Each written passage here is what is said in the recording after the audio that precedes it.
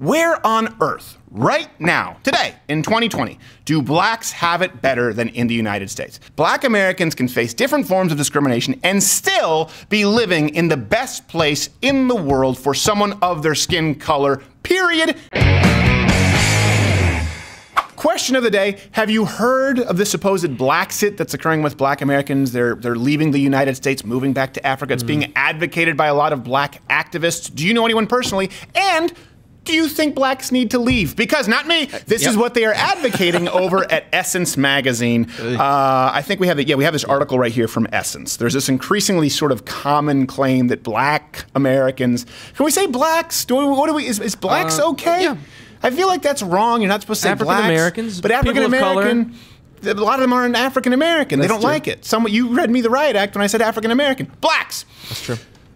Coloreds. Uh, nope. They're fleeing the United yeah, States to get away from racism. This is what they wrote about in Essence magazine, even saying that this is a viable solution right now. It's being suggested by black activists under the rule of Trump. So just to give you a feel, by the way, for the author of this article, it's kind of gone viral and it's been echoed by places, I think like the New York Times um, and maybe it was Huffington Post. Uh, Kristen Kirsten, Kristen Kirsten, they got a thing about that. Savali, I want to make sure I get her name uh, right. She claims that in America, black Americans will go with that. That sort of feathers it up. Black uh, Americans yeah. took yeah. half from African American, half from blacks. Um, black Americans that they're supposedly living in occupied territory and that the police are giving them, specifically under Trump, the right to kill them with impunity. That's part of the premise. Let's hear it from her. We talk about what's happened since Ferguson. You know, what's happened since then, what's like happened since the inception of police departments. that. Um, yeah, that is a continuum of slave patrols Does who were meant earrings? to bring uh, enslaved black people back to plantation, where the crime was not the dehumanizing institutional violence of slavery. It was actually people seeking freedom, and they were meant to bring them back. So again, we're talking about occupied territories. We're talking about oppressed communities. We're talking about militarized police departments who have been given to right the kill with impunity and it happens over and over and over again. Does your character have a hairnet? No. Wait. Guess who? we, there we go. I raised it back up. We all played Guess Who, right? Yeah. Yeah. yeah. Okay. I really should get an actual prompter and then uh, apparently start using it. Oh, look what happened here. This whole thing just shut down. Thank you. Thank you. None of you can run prompter. Sorry. Think about so this. I'm using my hands. My hands are doing Do you think that Sean Hannity has to do this? No. He reads exactly what is written for him by somebody else. Yeah. yeah. Off screen. Okay. So that's uh, Kristen Savali. Let's take a look at some of these claims, though, that I think are pretty important. Uh, one of the claims. Okay. Uh, and you see this in the article, uh, not all from that clip, mm-hmm. but the mm-hmm. founding fathers, they encoded dehumanization and oppression into the Constitution to preserve their privilege. These are all direct quotes from Essence. I highly recommend that you go read them. Here's the truth. That's bullcrap. Okay? The entire world employed slavery. By the way, not just African Americans. Okay, yeah. but sorry about that. Sorry about that. Amtrak thanks you. The point is, all of human civilization practiced slavery since the beginning of time to one degree or another. A lot of the world still does. We ended it. And something that this is that's something that's just shouted out a lot, and so people accept it as true. The founding fathers were they were actually very troubled, deeply troubled by the idea yeah. of slavery, and they were already taking steps to try and pave the way to change the course of history and end slavery long before most other people were thinking about it. Okay, so uh, the continuation of slavery was actually one of the primary gripes against King George uh, before we declared independence. I have a quote here from Thomas Jefferson: "King George the Third, the third, lest you be confused, has waged cruel war against uh, human nature." Nature itself, violating its most sacred rights of life and liberty in the persons of a distant people who never offended him, captivating and carrying them into slavery in another hemisphere, or to incur miserable death in their transportation thither. That's always a good word. Nice. Uh, determined to keep open a market where men should be bought and sold, he has prostituted his negative for suppressing every legislative attempt to prohibit or to restrain this execrable commerce. That is, he has opposed efforts to prohibit the slave trade. Pretty clear. Now, mm-hmm. again, keep in mind, this is something that was not only legal, but it was enforced at this point. Right now, let's say that there's an unjust law you disagree with. Often you'll hear people say this to the right. They go, well, if you disagree with this taxation, right. why aren't you actually violent, or why aren't pro life people being more violent with abortion clinics? Because that's not what we advocate. We believe in working within the law. We believe in respecting the rule of law, even as we try to change it through the system of law that we have. Mm-hmm. So let's keep that in context. Benjamin Franklin. He said, a disposition to abolish slavery prevails in North America that many of Pennsylvanians have set their their slaves at liberty, and that even the Virginia Assembly have petitioned the king for permission to make a law for preventing the importation of more into that colony. This request, however, will probably not be granted as their former laws of that kind have always been repealed. Now let's go to some of the personal actions. Again, read the Essence magazine. It's predicated on the idea that our founding fathers were pro slavery and wanted to continue it. George Washington. He made it so that his phrase could be sleeve. Uh, his phrase. Uh, his phrase. I had a stroke. Oh, yeah. His slaves could be freed. I'm talking Yeah. like her. It's a continuum. It's a continuum. Um, he wanted his slaves to be freed uh, upon his death. It was it was illegal, by the way, to do so while he was alive. Uh, Jefferson, by the way, he maintained a strong anti-slavery stance throughout his entire life. By his death, state laws had stiffened so much it was pretty much impossible for him to uh, free the slaves as Washington had. But Washington did that. Upon his death, he freed his slaves. Another claim she makes: there is no corner in the United States where it's safe to be black. Here's the truth: bullshit. It's not even close. No place in the United States where it's safe to be black. Plano, Texas. Burlington, Vermont. Cedar Rapids. Take your pick, Miss Guess Who. As a matter of fact, do you know where do you know where black do you know where black Americans are safer in general in the United States? Can you guys take a guess as to where black Americans hmm. are safer in this country? No, where? Hmm? Tell us. What is it? What is Could it possibly? They're safer in white areas, Oh. predominantly white areas than black areas, as they're far less likely to be the victim of crimes at the hands of white Americans than fellow black Americans. I take no joy in that. That's a statistical reality. But I won't. I bet you won't. You're not going to hear that on the SPLC's latest hate crime email newsletter. Instead, they'll be talking about Proud Boys Not getting into a bar fight with some guys and bandanas around their face. By the way, Oh, if you wow. want to check me on check. this, uh, as to black Americans being safer in white areas, all the, the aforementioned cities, okay, they're all safer for black Americans than predominantly black cities. You can look at the list of safest cities in the country, by the way, for both white and black Americans. You can look at those stats. Then, if you wanted to find the least safe cities for black Americans, you would have to take that list, scroll down, keep scrolling, keep scrolling. The least safe, yep, that would be Detroit and St. Louis. Yeah. And I don't know which, I think Detroit is worse, but you guys have it pretty bad. Yeah, St. Louis is it's uh it's This is the part where you argue for the check and you say, no, no, no, St. Louis is worse. But yeah, St. Louis is definitely But not deep down, worse. we all know. We all know. and a good point is that's not a race thing, but I'll tell you what is uh, where you could attribute something here to race. You could attribute the voting bloc, and not black Americans, because you look at the changes in the voting bloc under Donald Trump, but the activists, like this writer for Essence Magazine, and like the activists who've tried to speak for the black community to instate policies that have systematically destroyed them. The problem is a lot of these people are not really representative of black Americans. Go ask black Americans right now if you could pay for a free ticket for them to go to any country outside the United States to live forevermore. No one would take it. So someone like this, let's be really, Nah, really clear here. She I don't want doesn't speak for most black Americans, nor do the BuzzFeed boldly lesbians. We need to be really clear about this. I feel like black people in the media, unfortunately, are often represented by social justice warrior leftists, and not the true average black American voice who is probably the moderate base of the Democratic Party today. Let's be clear. You may run into the occasional, let's say, white racist farmer in Cedar Rapids. I don't know. I'm not familiar with Cedar Rapids. If there's one farmer who's like, I don't know, listen, don't lump me in. I don't know. Let's call it your neighbor.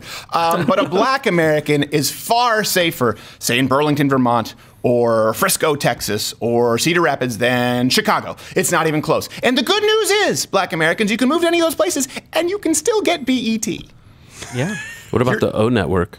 I, I'm not entirely familiar with the O Network, but Oprah? I, Yeah, I know who O she is, but I've never watched it. That Oprah. being said, I'm sure there's a package available for that.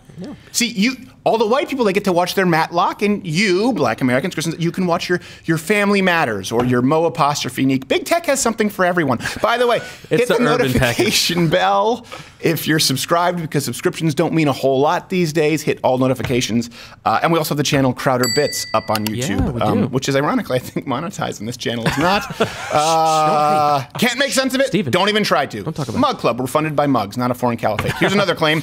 Uh, the term Blaxit is used, and she uses this in her article in essence um, and talks about it. The term Blaxit is used to describe black Americans leaving the country due to racism to live somewhere else. And this is important because this person is brought on to television programs to talk about the Blaxit. So this term is used, and what does that assume? It assumes that it's actually going on. A black Right. sit, which is coined by activists. It's not. Statistically, there is no Blaxit. Funny story, actually. Funny you should ask, viewer, who I can't speak with, but I can spy on your webcam because you don't have a sticky note or use ExpressVPN. Under President Donald Trump, the single fastest growing group of legal immigrants is oh, oh. Africans. Look at that. With the number of African wow. immigrants growing at a rate of almost 50% wow. from 2010 to 2018. And a third of those were just Obama's half brothers. oh, so much family. Those guys are good. A lot of family. A, he doesn't awesome. even know it's all big, that much. It's a big family. That's great. Dreams of his father. Um, paternity test from his father. So, by, by the way, in this country, immediately following, this is important to note, the abolition of slavery, some free slaves were offered travel back to Africa where there's a designated plot of yeah. land for the people who wanted to leave partially funded by Congress. Most freed slaves were they were not thrilled with it. Yeah. They decided, no, you know what, you keep your one way. Here's another claim. This is from the article. According to the SPLC, you hear this a lot. Uh, the number of hate groups has risen. Truth? Bullshit. Very much so. The SPLC includes churches, some of which I think are actually yep. at least half black churches and groups like the Proud Boys, which is a glorified drinking club. There aren't more actual hate groups. They've just broadened their definition. Second, mm. a review using the same methodology, okay, that we're talking about here, is these widely touted hate crime studies. Right. Here's a surprise. Here comes some cold water. It showed that Clinton's rallies were linked to an even greater rise in hate crime. So Whoa. either the methodology is flawed or Hillary is 100% neo-Nazi. She just saw Dershowitz. She has that yeah. Gestapo look in her eyes. Someone get the Valium pen. Calm her ass down. I mean, it's just remarkable to me. We're supposed to believe that Hillary Clinton is Ed Furlong in American History X. I don't believe that's the case. I don't think that Hillary Clinton having a rally where nobody shows up or Elizabeth Warren is equivalent to someone being curb stomped in a hate crime. But if we're right. using your standards, you're worse. Yeah. Okay. Here's another claim. Uh, the article, right, it goes on to cite that uh, black Americans uh, living in places like Ghana and Qatar, um, that they should be places where black Americans maybe should move to to achieve a higher standard of living and less discrimination. They argue that some black people have moved to these countries. The truth about all, it's complete bullcrap. The quality of life is far, far lower in places like Qatar, despite what Clockboy tells you. And they still have indentured servitude to this yeah. day. What happened yeah. to the slavery argument? Under the Qatar, Qatar, they have this thing called sponsorship laws. Okay, sponsors can I want to make sure I get this right. Cancel workers' residency permits, prevent them from changing employers, deny them permission to leave the country, and they can report them to the police if they do so. There are similar laws in uh, the UAE, other countries in the Whoa. Gulf states. By the way, women in prison in Qatar, uh, while we're not just talking about people of different races, women sentenced for being raped, sentenced to prison yeah. for being raped. Ooh. I want to make sure that I'm clear. This is not hyperbole at all. An actual quote: "A court handed down a suspended one-year imprisonment sentence for engaging in extramarital sex and deported her. It also sentenced the man accused of raping her with 100 lashes for having extramarital sex and 40 lashes wow. for drinking alcohol. So she, and this is what's important: not just that she was punished for being raped."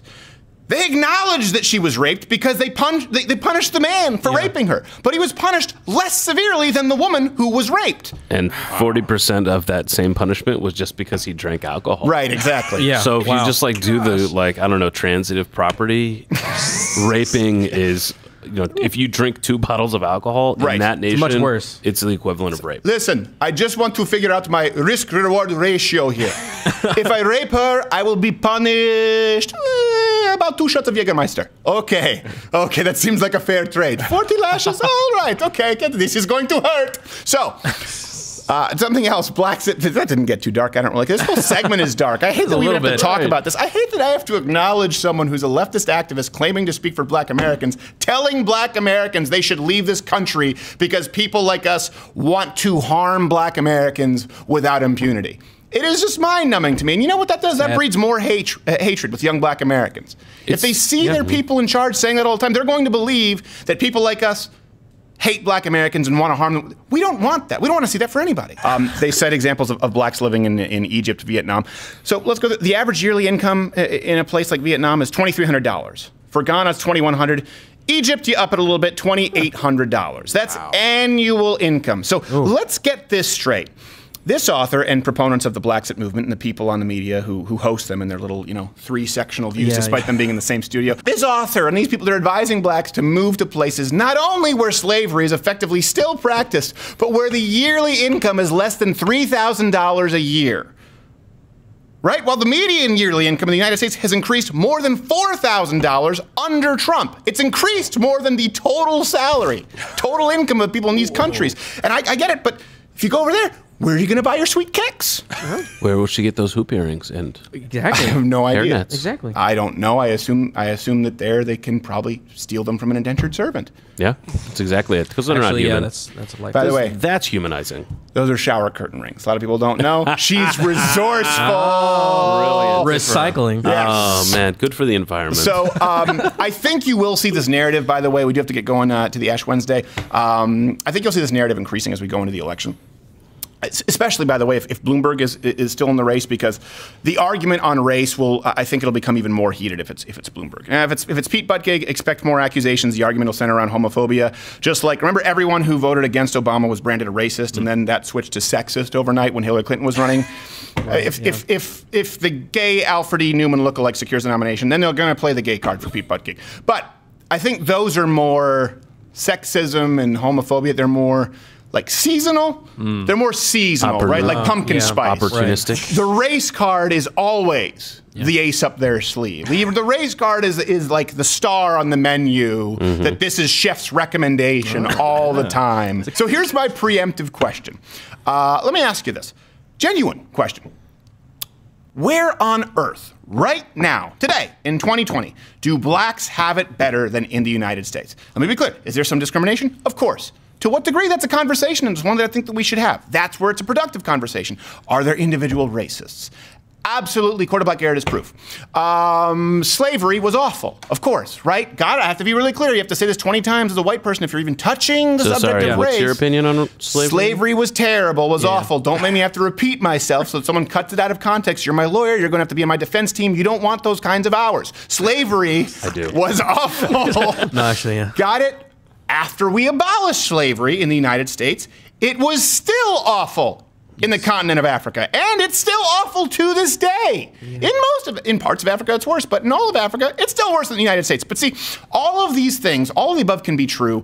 Black Americans can face different forms of discrimination and still be living in the best place in the world for someone of their skin color. Period.